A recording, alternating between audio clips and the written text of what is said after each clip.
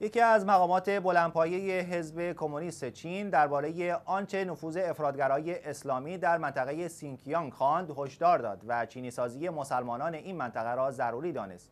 به گزارش شیویز به نقل از گاردین این مقام ارشد حزب کمونیست چین گفته یکسانسازی فرهنگی و اجتماعی مسلمانان چین در منطقه حساس سینکیانگ باید افزایش یابد تا همبستگی قومی و هماهنگی دینی در کشور افزایش یابد. یون کوان رئیس سازمان جبهه متحد کار که بر امور دینی و قومی نظارت می کند ضمن دیدار این هفته خود از سینکیانگ این سخنان را بیان کرد.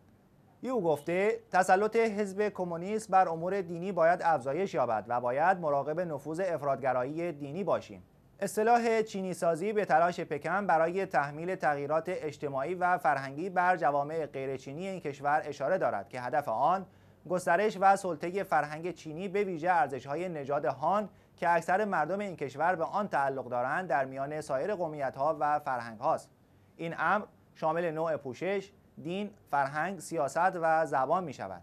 پیش از این گزارش هایی درباره شرایط غیر انسانی حدود یک میلیون مسلمان بازداشت شده که در کمپ های بازآموزی در سینکیانگ به سر می بردند منتشر شده بود.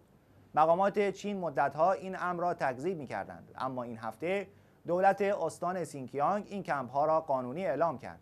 چین می‌گوید که سینکیانگ با تهدید سنی های تندرو و جدای طلب مواجه است و همه اتهامات مبنی بر بدرفتاری با مسلمانان اویگور در این منطقه را رد می کند.